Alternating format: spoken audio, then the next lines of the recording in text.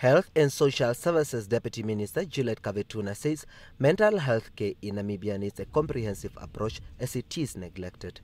The lack of this issue being properly addressed is resulting in an increase in untreated mental disorders such as chronic depression, stress and suicide in the country. If not addressed and treated, these disorders will continue to affect the country's economy, individuals and families. Kavetuna was speaking at the 20th anniversary celebration of the Okonguarri Psychotherapeutic Center in Kunene region this week.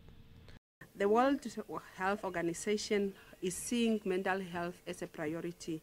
What is our take on this as a Namibian country? Individuals as well as the government, what are we what our contribution towards eliminating this stigma and discrimination against people with mental health? do we understand that mental conditions or like any other sickness is actually treatable and that the impact that we are doing that we are putting in in our efforts to fight this disease will make Namibia a better country. The founder of the Okonguarri Psychotherapeutic Center said the center opened in 1997 as a private mental hospital. It caters for professional psychotherapeutic and comprehensive therapy services. I am very fortunate that even from those humble days, we were able to establish what stands today.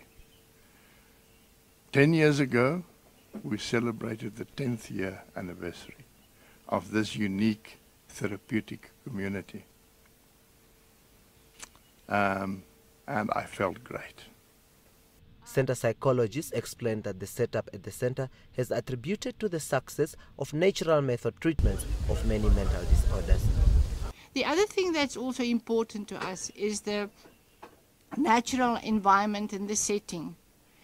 Um, we believe in nature as bringing people back to their roots. There are certain rules here, like the TV, like the cell phones, and for the first one or two days, people can't imagine that you can live like that. And then nature takes over and actually brings them back to their roots, to the basic values, what it means to be a human being. Patients therefore can be treated for 14 days or longer.